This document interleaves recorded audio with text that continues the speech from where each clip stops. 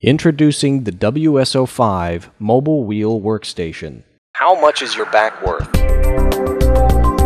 Working with heavy truck tire equipment can lead to unsuspected injuries, And you may be subjected to lifelong trauma. workman's compensation is doubling each year from people getting injured on the job site due to operating heavy equipment.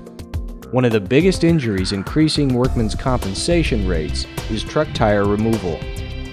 This job requires the operator to remove and replace the tires with a manual impact wrench, weighing in excess of 35 pounds. 35 pounds. The operator lifts the heavy impact wrench from the ground up, suffering the strenuous weight and fighting the massive torque from the gun, while hunching or crouching over to remove each lug nut. In some cases, 10 lug nuts per tire. Between uses, the wrench is not just exposed to dirt and dust, but constant abuse as it makes repetitive impact with asphalt and concrete through its day to day routine, resulting in costly repairs and downtime. Many back injuries, in fact, do occur as a result of operation of a heavy duty impact wrench in this manner. Furthermore, it is often difficult to hold the impact wrench aloft in this manner and control it accurately. Thus, a misguided impact wrench can damage the lug nuts and cause other injuries.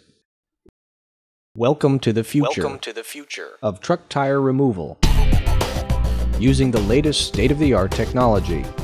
The mobile wheel workstation is used for commercial truck tire and wheel changing. The workstation was carefully designed to give the operator a mobile workstation. Hence the name Mobile Wheel Workstation. The workstation features a gas strut subsystem that makes the job easy and safe to install large commercial tires. You can also store all of your tools in our easy to maneuver workstation. A gas strut assisted boom supports the weight of the impact wrenches. This results in decreasing body fatigue and reducing back problems.